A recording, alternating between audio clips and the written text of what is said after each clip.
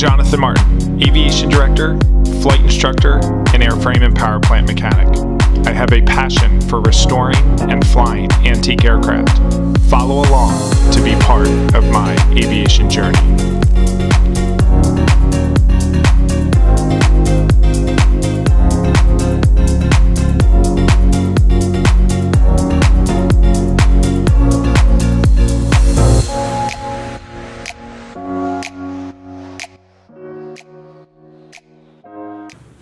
About automatic, dependent, surveillance, broadcast. A, D, S, B.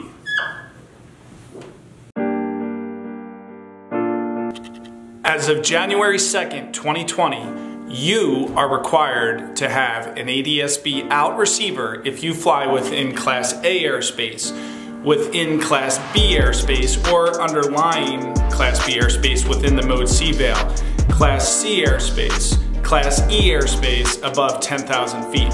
So, a lot of places on this chart, you're required to have ADSB out technology. When are you not required to have ADSB? If your aircraft was ever originally certified without an engine driven, the key here is without an engine driven electrical system, you don't need to have it. Just like you don't need to have a transponder with mode C altitude reporting right now if you fly within those airspaces. But the key is, is if you have an engine driven electrical system, you are required to fly with an ADSB out receiver on board as of January 2nd, 2020. Today we're going to look at the installation of a uAvionix Sky Beacon on a uh, wing of a 1946 Fairchild 24. Today's a big day. I'm headed down to the post office. I finally got word that a package has arrived from uAvionix. It's uh, the skyBeacon that I'm going to be installing in the Fairchild to finally make it ADSB compliant. I've been doing a lot of installs for a lot of customers, making them compliant. Uh, but my airplane, unfortunately, has been uh, stuck in the hangar, and uh, it's the biggest lawn ornament right now um, because I can't fly because we're underneath the Mode C veil of Philadelphia and I need to have ADSB installed. So I'm gonna go down and pick it up. We're gonna get it installed. I'm gonna do a installation video on how to install the skyBeacon in the Fairchild.